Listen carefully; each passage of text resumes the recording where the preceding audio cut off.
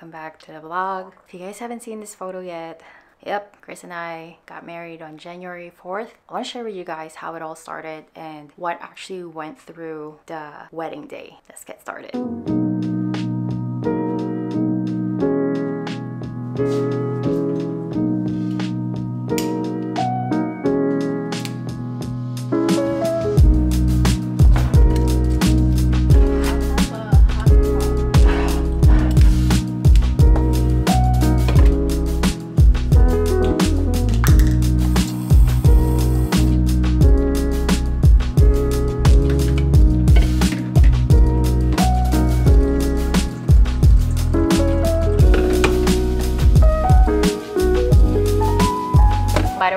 Guys are ever wondering where is Chris in the bedroom, he's actually right here. He had to sleep here because Patches usually wake us up early in the morning. He doesn't want me to get disturbed by Patches, so basically he had to stay out. Anyway, so going back to the main topic of this vlog. So the whole marriage idea, it happened somewhat in July. We were walking to Popeyes to grab our dinner. I can't exactly remember how we came up to that conversation, the whole wedding thing, but I think we both talked about it about the January 4th because that's our eighth year of being together together. That's when he also asked, would you like to get married on January 4th? And that's when I looked on the calendar as well, that it's a Tuesday. And I was like, yeah, sure, why not? so that's where it kind of all started.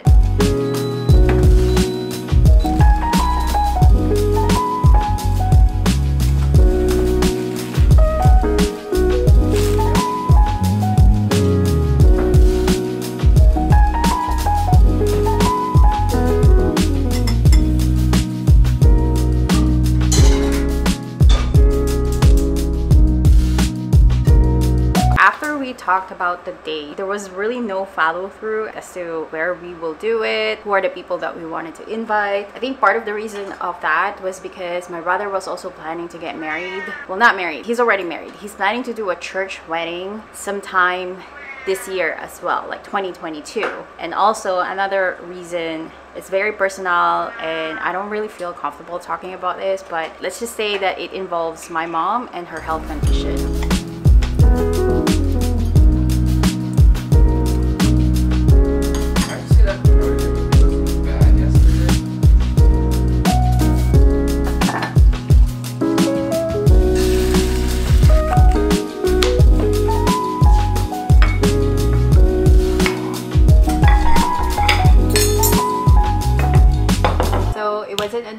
September when my brother finally confirmed that they're gonna do their church wedding at the end of 2021. That is also when Chris and I started planning about the officiant, where to do it, and who are the people we want to be in it. Chris and I have always been on the same page when it comes to wedding stuff. We don't find the idea of throwing a lavish wedding party appealing. You want me to word it? yeah. We basic. We just literally want a simple ceremony. His family there, obviously my family is not here, so I have Kath as my witness, and then he has Eric as his best man.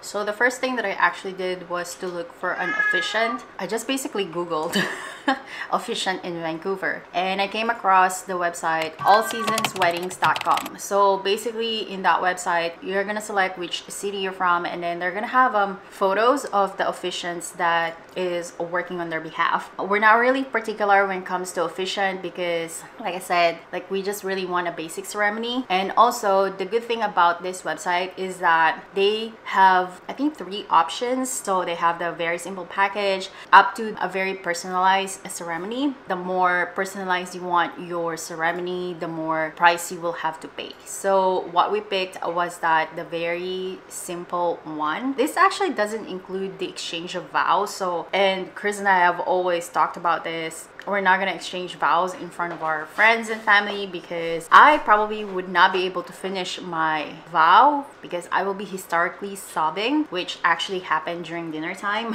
what we did was that Chris and I just exchanged a personal letter. And then the next thing that we did sometime around in October was to pick up our wedding bands. We got ours at Michael Hill and we just literally have the most simple wedding bands as well. So we got our marriage license around mid of November because marriage licenses only last for 90 days and then after that you're gonna have to renew it and it costs $100. Tip, when you're picking up your marriage license, if you're an immigrant like me, bring your passport, birth certificate, PR card, citizenship ID, all those important documents since you were not born in here, bring it because they're gonna ask for it. Chris only has to bring his birth certificate and his driver's license and that's about it.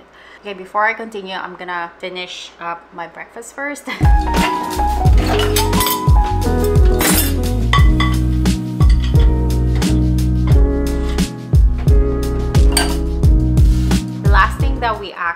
for was a restaurant that could host 14 people. That's the total of the people that we invited, including us and including Chris' parents, because there's this never-ending changes with the restrictions because of COVID. It was a little bit challenging to find a restaurant that could host us. Hart House in Burnaby was the one who actually presented a very good offer. They were served a room specifically for us but the downside is that they can only do maximum of 12 people in that room because of the covid restriction. So i had to take back my invitation to a couple. Also another thing that we actually did was since we didn't really spend that much this whole wedding thing what we did was that instead of you know how there's like always souvenirs whenever you go to like formal events like this since we only have few people invited what we did was that we created a personalized baskets for them and in it are some of the stuff and food that Chris and I actually use and enjoy on a regular basis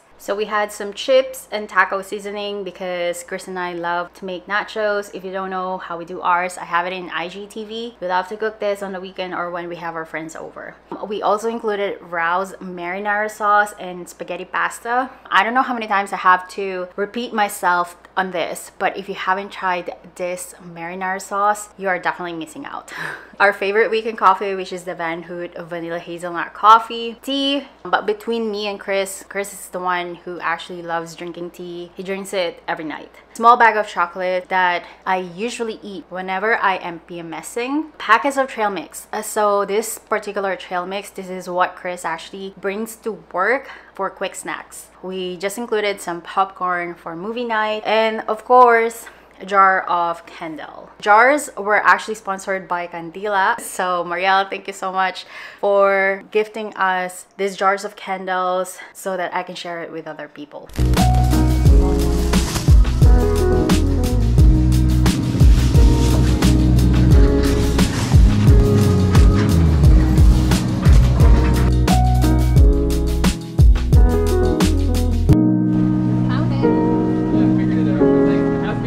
We're gonna get busy here in the kitchen and while we're doing that let me show you guys a few clips and photos that was taken during our wedding ceremony. Just to be clear in here we didn't hire any photographer or videographer. So what chris did was that he set up one of his camera for videos and the other one was taking the photos. I have my vlogging camera. The photos were all taken by eric and chantel so they were just like passing it to each other. Enjoy this short clip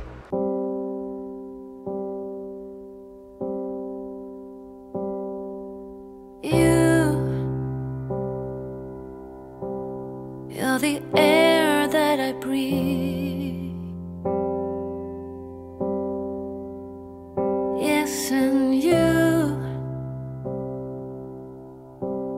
you are all that I need.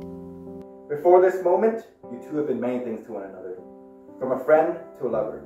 And after these vows, you shall say to the world that this is my husband and this is my wife. you are the water that keeps me alive. Now, by the power vested in me by the province of British Columbia, I now pronounce you husband and wife. You may now kiss the bride.